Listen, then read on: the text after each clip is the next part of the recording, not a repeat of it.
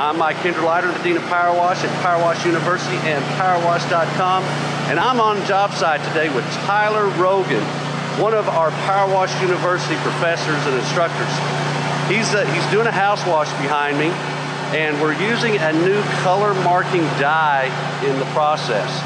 So this dye goes on, and it will fade, so it helps you kind of keep track of the cleaning process and where you are in the stage.